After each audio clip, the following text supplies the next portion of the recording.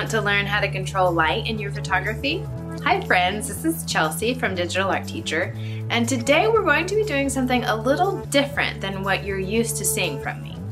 If you've watched any of my videos before, then you're used to seeing me create step-by-step -step instructions on how to use Photoshop and Illustrator. Today, I'm introducing my new types of lighting unit. I'm also going to be giving you some resources that you can use to help you learn to use the different types of light in photography. You should know that this is not an exhaustive list, but it will be a good starting point for you as you move forward into more advanced photography. In the types of lighting unit from digitalartteacher.com, you'll find instructions on how to recreate an image from a famous photographer. You'll learn how to emulate the light that they used so that you can learn how to control light in your own photography. I've written a series of posts about how to recognize different types of light.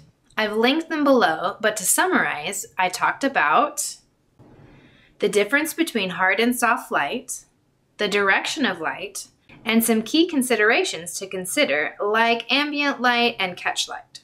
I also want to highlight some different videos that explain how to use the different types of light techniques. But since I don't have the same kind of lights that you may have available, I wanted to give you a variety of videos from different experts with different equipment. This way, you can see how they use the equipment and learn from them to control the light in your projects. This first video talks about the difference between hard and soft light, the second one shows a lot of different materials you can use to control that soft light.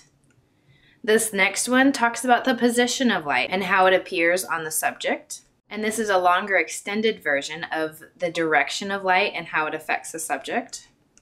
This one talks about how to control ambient light and even shows you some specific shutter options.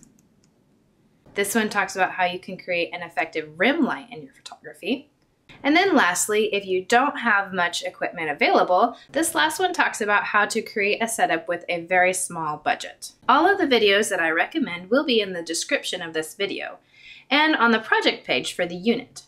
Hopefully, you'll be able to use one of my recommended videos for your projects. But if not, there are lots of videos on YouTube on all of these lighting topics. If you're a photography teacher and you're interested in teaching a unit on how to duplicate lighting conditions, you can learn more at digitalartteacher.com or just click the link above. Have a very creative day and I'll see you in the next video.